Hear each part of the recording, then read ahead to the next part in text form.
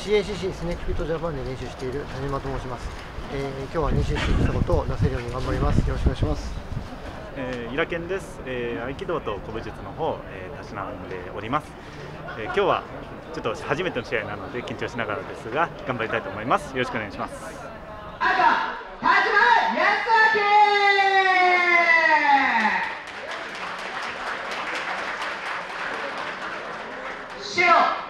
明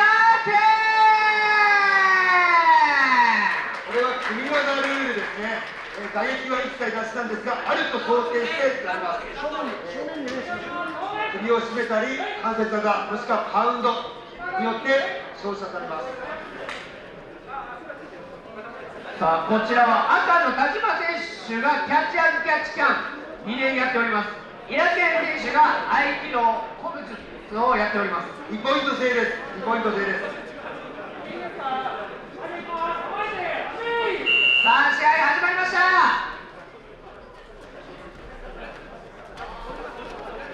止まらないよキャッチアウトキャッチからレスリーグの原型で。すね合気道もねなんか同じようなすごい。これはなんかお互いのおのおの戦いになってますよね。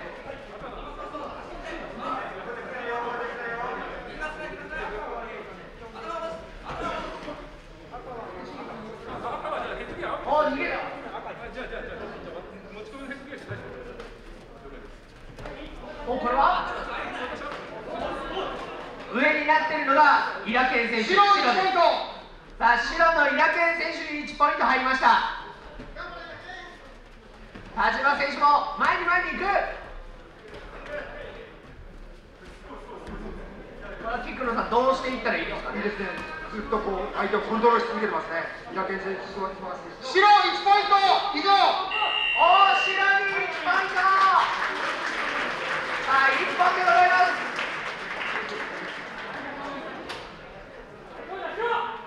す後ろのイラケン選手です。赤の田島選手も最後まで諦めなかった。